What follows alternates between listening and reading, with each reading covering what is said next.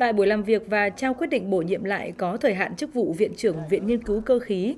sau khi thăm các trung tâm cơ khí nặng, máy và tự động hóa, công nghệ và thiết bị môi trường, đoàn công tác Bộ Công Thương đánh giá với bề dày truyền thống và thành tích về nghiên cứu phát triển và chuyển giao công nghệ trong lĩnh vực cơ khí tự động hóa.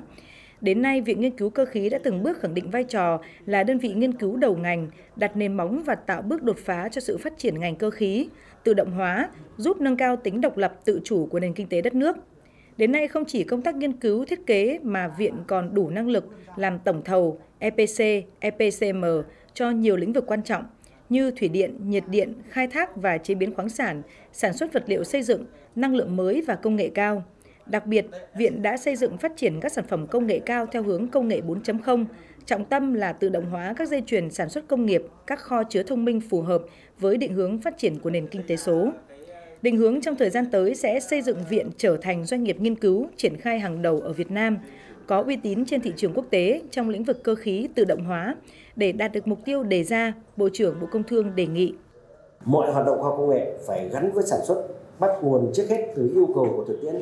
để có những sản phẩm khoa học công nghệ thiết thực, hiệu quả, có sức lan tỏa mạnh mẽ trong ngành và được ứng dụng nhanh chóng, hiệu quả và thực tiễn, giúp các doanh nghiệp trong ngành từng bước đổi mới công nghệ, nâng cao năng suất, chất lượng sản phẩm hàng hóa và lực cạnh tranh. Tôi đề nghị bắt đầu từ năm tới trở đi đấy thì cái phân bổ vốn sự nghiệp khoa học công nghệ cần phải được ưu tiên cho các viện thuộc bộ này phải nói rằng mà cái đơn đặt hàng cũng phải bám sát cái chiến lược và cái đề án phát triển của mình đặt hàng để mà các viện nhất là những viện có cái thế mạnh như viện nghiên cứu cơ khí chúng ta nghiên cứu chuyên đề ứng dụng à, chuyên đề để làm sao ra được những sản phẩm mới, đóng góp thiết thực vào cái sự phát triển của ngành trong tương lai.